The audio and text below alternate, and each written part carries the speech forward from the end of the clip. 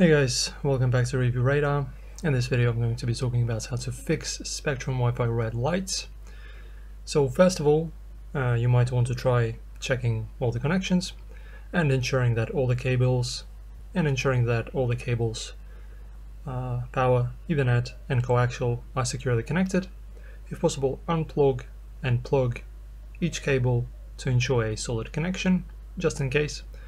Also, you might want to try restarting your router and modem by unplugging a power cable from both router and modem, waiting about 30 seconds. Check for outages. Use your mobile data to check if there's a internet outage in your area. Also, you might want to try resetting your router.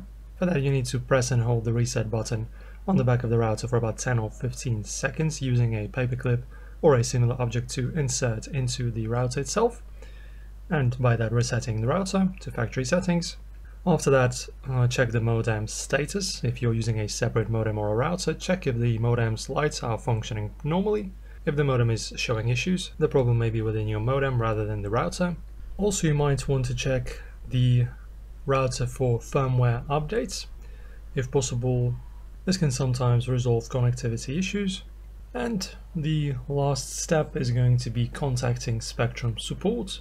If none of the above steps work, there may be an issue with your service or equipment that requires professional help.